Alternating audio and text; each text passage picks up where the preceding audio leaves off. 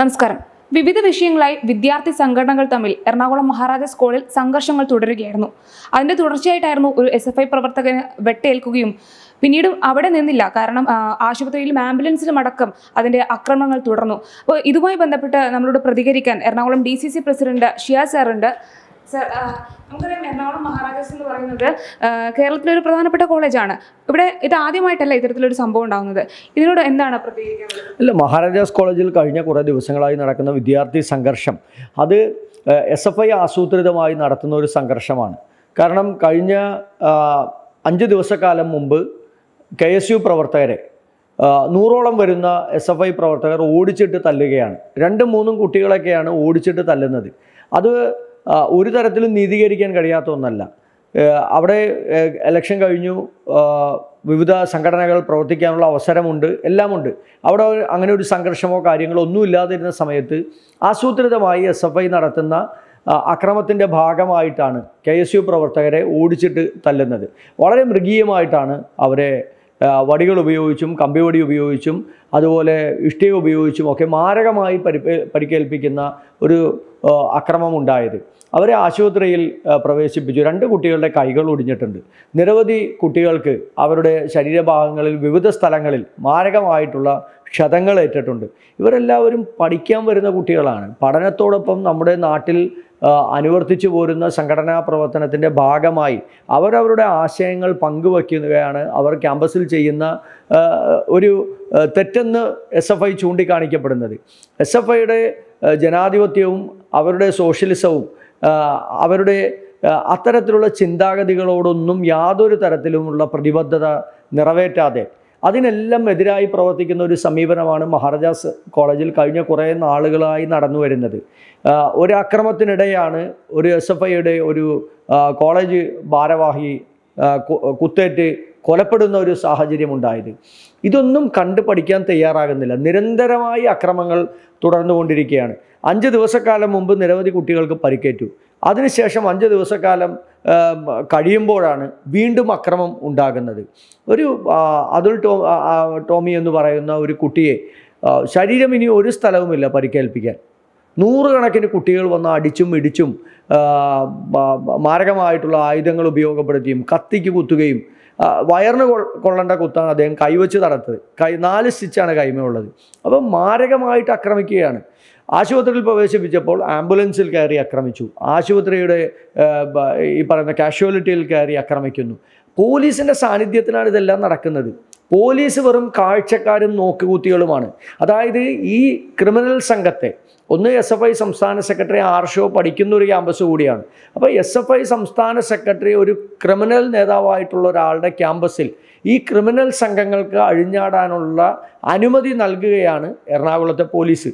അപ്പോൾ എറണാകുളത്തെ കമ്മീഷണറുടെ ഓഫീസിന്റെ മൂക്കിന് താഴെയിരിക്കുന്ന ഒരു ക്യാമ്പസിൽ നിരവധി ദിവസങ്ങൾ അക്രമങ്ങൾ നടന്നിട്ടും യാതൊരു തരത്തിലുള്ള നടപടികൾ സ്വീകരിക്കാതെ ഈ അക്രമകാരികളെ അമർച്ച ചെയ്യാതെ അവർക്കെതിരെ നിയമപരമായി കൊടുക്കാവുന്ന ശിക്ഷ കൊടുക്കാതെ മുന്നോട്ട് പോകുമ്പോൾ അവർക്ക് ഇതിനുള്ള ഒരു അനുമതിയാണ്.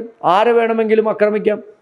ആരെയും അപായപ്പെടുത്താനുള്ള ശ്രമം നടത്താം ഭീഷണിപ്പെടുത്തിയും ഭയപ്പെടുത്തിയും ക്യാമ്പസിലേക്ക് കുട്ടികൾ വരാതിരിക്കുന്ന സമീപനങ്ങൾ അതും സ്വീകരിക്കാം. അപ്പോൾ എല്ലാം ചെയ്യുകയാണ്. ആരും ഒന്നും ചോദിക്കാനില്ല. അധ്യാപകർ കുട്ടികളെക്കാട്ടിയും വളരെ മോശമായിട്ടുള്ള രാഷ്ട്രീയമാണ് അവരും അധ്യാപകരും കളിക്കുന്നത്. സ്വാഭാവികമായും മഹാരാജാസ് പോലെ നിരവധി രാഷ്ട്രീയ പ്രഗത്ഭന്മാരും സാഹിത്യ സാംസ്കാരിക സാമൂഹിക രംഗങ്ങളെ അക്കാഡമിക് രംഗങ്ങളിലൊക്കെ പഠിച്ചിരിക്കുന്ന ആളുകൾക്ക് മഹാരാജാസ് എന്ന് കേൾക്കുമ്പോൾ ഇപ്പോൾ അപമാനം മൂലം തലകുനിക്കേണ്ട ഒരു ഗതികേടാണ്. എത്ര പ്രഗത്ഭരായിട്ടുള്ള ആളുകളാണ്. അധ്യാപകരാണ്. അവരുടെ വിഷമം അവർ തുറന്നു പറഞ്ഞത്. അപ്പോൾ അധ്യാപകരെ പോലും സാമൂഹ്യ മാധ്യമങ്ങളിലൂടെ അവരെ പോലും അപകീർത്തിപ്പെടുത്തുന്ന സമീപനം സ്വീകരിക്കും. പ്രധാന അധ്യാപികയുടെ കസേര കത്തിക്കുന്ന ഒരു സമീപനം. ഈ ആർഷോ ഉൾപ്പെടെയുള്ള ആളുകളാണ് അതിനെല്ലാം നേതൃത്വം കൊടുത്തത്. ക്രൂരമായി കുട്ടികളെ ഹോസ്റ്റലിൽ കൈയും കാലും കെട്ടിയിട്ട് ക്രൂരമായി ആക്രമിക്കുന്നത്. അതൊക്കെ ക്രിമിനൽ സംഘങ്ങളുടെ രീതിയാണ് സ്വഭാവമാണ് ഇതെല്ലാം കാണിക്കുന്നത്. വിദ്യാർത്ഥി സംഘടനാ പ്രവർത്തനത്തിനിടയിൽ അക്രമങ്ങൾ ഉണ്ടാകുക അത് സർവസാധാരണമാണ്. കുട്ടികൾ പെട്ടെന്ന് ഉണ്ടാകുന്ന പ്രതിഷേധത്തിന്റെ ഭാഗമായി ഉണ്ടാകുന്ന അക്രമങ്ങൾ. പക്ഷേ ഒരു ഹോസ്റ്റലിലുള്ള കുട്ടികളെ അർദ്ധരാത്രി കൈയും കാലും കെട്ടിയിട്ട് ക്രൂരമായി മർദ്ദിക്കുന്ന ഒരു സമീപനം എവിടെയാണ് നമുക്ക് കാണാൻ കഴിയുന്നത്? ഇന്നലെയും കോളേജിൽ കോളേജിന്റെ ഹോസ്റ്റലിൽ മഹാരാജാസ് കോളേജിന്റെ എം സി ആർ വി ഹോസ്റ്റലിൽ കുട്ടികൾ താമസിക്കുന്ന കെ എസ് കുട്ടികൾ താമസിക്കുന്ന കുട്ടികളുടെ മുറികൾ അടിച്ച് തകർത്ത് അവരുടെ ഡ്രസ്സും അവരുടെ ഉപകരണങ്ങളും അവരുടെ സർട്ടിഫിക്കറ്റും ഉൾപ്പെടെ കത്തിച്ച് കളയുന്ന സംഭവങ്ങളുണ്ടായി. അപ്പോൾ ഇത് നിരന്തരം ആവർത്തിച്ചു കൊണ്ടിരിക്കുകയാണ്. ഇത് ഒരു പരിധിയിലപ്പുറമായി പോവുകയാണ്. ഇതിനെ പ്രതിരോധിക്കാനും ഇതിനെതിരായി ശക്തമായ തിരിച്ച് തിരിച്ചടി നൽകാനും എറണാകുളത്തെ കോൺഗ്രസ് ഒരുക്കമാണ്. കാരണം ഇത്തരത്തിലൊന്നും കണ്ടു നിൽക്കാൻ നമ്മൾ ഞങ്ങളെല്ലാവരും വിദ്യാർത്ഥി കാലഘട്ടത്തിലൂടെ കടന്നു വന്ന ആളുകളും മഹാരാജാസ് കോളേജിലെ മുൻ പൂർവ വിദ്യാർത്ഥികൾ കൂടിയാണ്.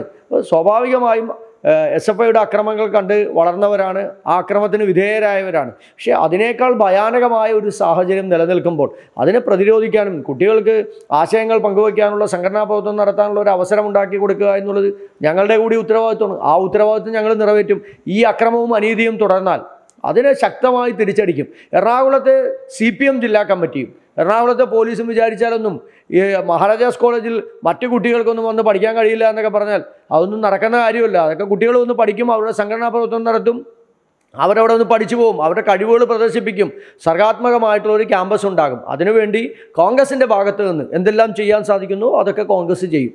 മഹാരാജാസിലെ ഒരു കഴിഞ്ഞ ദിവസം നടന്ന അക്രമം അതുപോലെ തന്നെ ഇതിനു മുന്നുണ്ടായ ഒരു കൊലപാതകം.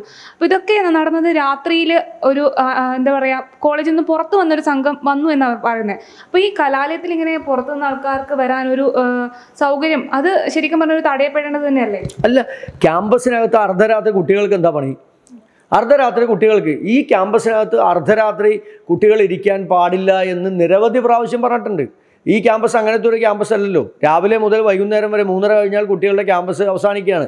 കോളേജ് യൂണിയൻ പ്രവർത്തനവുമായി ബന്ധപ്പെട്ട് ആരെങ്കിലും പരിപാടികളുമായി ബന്ധപ്പെട്ട് പിറ്റേ ദിവസത്തെ പരിപാടിയുമായി ബന്ധപ്പെട്ട് ഇത് എല്ലാ ദിവസവും ക്യാമ്പസിനകത്ത് അർദ്ധരാത്രി വെളുപ്പിന് വരെ ആൺകുട്ടികളും പെൺകുട്ടികളും എല്ലാവരും വന്ന് ഇതിനെക്കുറിച്ച് ക്യാമ്പസിനകത്ത് ലൈറ്റ് പോലും ഇല്ല. അവിടെ സെക്യൂരിറ്റി പ്രശ്നമുണ്ട്.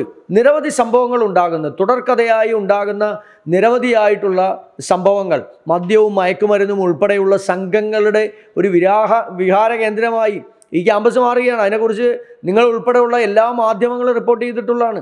അപ്പോൾ അതിനെതിരായിട്ടുള്ള ഒരു നടപടിയോ അല്ലെങ്കിൽ അത് എന്താണെന്ന് മനസ്സിലാക്കാനോ അധ്യാപകരായിട്ടുള്ള ആര് ആരാ നടപടി എടുത്തിരിക്കുന്നത്?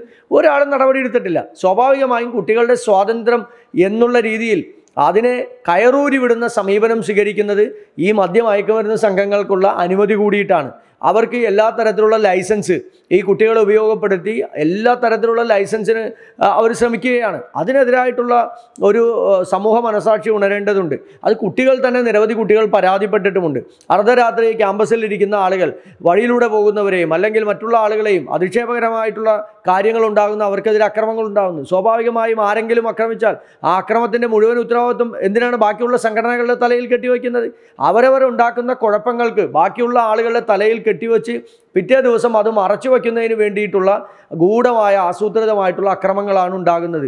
രാഷ്ട്രീയ പാർട്ടി ഇവരെ നയിക്കുന്ന സി പോലെയുള്ള പാർട്ടി ഇത് ശ്രദ്ധിക്കണമെന്നും അത് അത്തരത്തിൽ പ്രവർത്തിക്കുന്ന ആളുകളെ സംഘടന ഉത്തരവാദിത്തപ്പെട്ട സ്ഥാനങ്ങളിൽ നിന്നൊക്കെ മാറ്റി നിർത്താനുള്ള സാമാന്യമായ വിവേകമെങ്കിലും അവരാരെങ്കിലും കാണിക്കണ്ടേ? അപ്പോൾ സംഘടനയുടെ പേരിൽ ആ സംഘടന ഭരിക്കുന്ന ഒരു സംസ്ഥാനത്ത് അവരുടെ സംരക്ഷണം പോലീസ് ഉറപ്പുവരുത്തുന്നു എന്നുള്ളതിന്റെ പേരിൽ നടത്തുന്ന ഈ അക്രമങ്ങളൊന്നും ഒരു തരത്തിലും ന്യായീകരിക്കാൻ കഴിയാവുന്ന ഒന്നല്ല. പരിധി വിട്ടാൽ ഇതെല്ലാം ചെറുക്കാനും പ്രതിരോധിക്കാനും കഴിവുള്ള ആളുകൾ തന്നെയാണ് കെ എസ് യുവും അതുപോലെ യൂത്ത് കോൺഗ്രസും. അവർക്ക് പരിപൂർണമായ പിന്തുണ കോൺഗ്രസ് നൽകും. ഒരു സംശയവും വേണ്ട കാര്യത്തിൽ.